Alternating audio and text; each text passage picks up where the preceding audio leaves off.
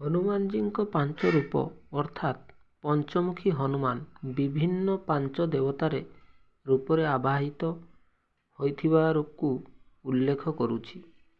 ହନୁମାନ ଅଞ୍ଜନି ସୁତ ମୁଖ୍ୟ ରୂପ ଯାହା ସେବା ଓ ସମର୍ପଣ ପ୍ରତୀକ। ନରସିଂହ ଏହି ରୂପରେ ସେ ଭୟ ଓ ନିରାପତ୍ତିର ପ୍ରତୀକ ଯାହା ନିକଟରେ ବିପଦରୁ ରକ୍ଷା କରେ। ଗରୁଡ଼ ବିଷ ବା ନକାରାତ୍ମକ ଶକ୍ତିରୁ ରକ୍ଷା କରିବାକୁ ଏହା ସମର୍ଥ। ହୟଗ୍ରୀବ ଜ୍ଞାନ ଓ ଶିକ୍ଷାର ରୂପ। ମାଟି ଓ ଭୂମି ମାଧ୍ୟମରେ ରକ୍ଷା କରିବାର ପ୍ରତୀକ। ହନୁମାନ ପଞ୍ଚମୁଖୀ ରୂପରେ ପୂଜା ଦୃଷ୍ଟିଶକ୍ତି ଓ ନିରାପତ୍ତି ପ୍ରଦାନ କରିବାକୁ ବିଶ୍ୱାସ କରାଯାଏ। ହନୁମାନଜୀଙ୍କୁ କଳିଯୁଗର ସରକାର ବୋଲି କୁହାଯାଏ କାରଣ ସେ କଳିଯୁଗରେ ମଧ୍ୟ ସବୁଠାରୁ ପ୍ରଭାବଶାଳୀ ଏବଂ ଶକ୍ତିଶାଳୀ ଦେବତାମାନ୍ୟ ଅଟନ୍ତି।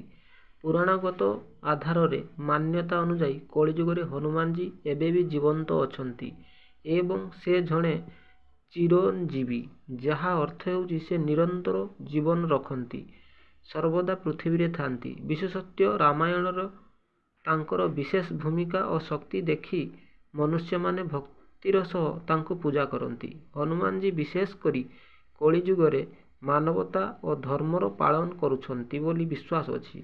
ମଧ୍ୟଯୁଗର ପୁରାଣଗୁଡ଼ିକରୁ ଜଣାଯାଏ ଯେ କଳିଯୁଗରେ ପୁରାଣଗୁଡ଼ିକରୁ ଜଣାଯାଏ ଯେ କଳିଯୁଗରେ ହନୁମାନଜୀ ମାନବକୁ ଅଧର୍ମରୁ ସୁରକ୍ଷା ଦେଇଥାନ୍ତି ଓ ଧର୍ମର ପାଳନ କରିବାକୁ ପ୍ରେରିତ କରିଥାନ୍ତି। ସେ ଦୁଃଖରେ ଥିବା ଭକ୍ତମାନଙ୍କୁ ସହାୟତା କରିବାରେ ଏବଂ ଦୁଃଖ ନିବାରଣ କରିବାରେ ସଦା ସଚେତନ ରହିଥାନ୍ତି। ଏହିପରି ଶକ୍ତିଶାଳୀ ତଥା ଉପକାରୀ ବ୍ୟକ୍ତିତ୍ୱ ଥିବା ନିମନ୍ତେ ହନୁମାନଜୀଙ୍କୁ କଳିଯୁଗର ସରକାର ବୋଲି ମଧ୍ୟ କୁହାଯାଏ। ଏହିଭଳି ଗ୍ରନ୍ଥ ଏବଂ ପୁରାଣ ଚରିତ କାହାଣୀକୁ ଦେଖିବା ପାଇଁ ୟୁଟ୍ୟୁବ୍ ଚ୍ୟାନେଲକୁ ସବସ୍କ୍ରାଇବ୍ କରନ୍ତୁ ଲାଇକ୍ କରନ୍ତୁ ଏବଂ ସେୟାର କରନ୍ତୁ।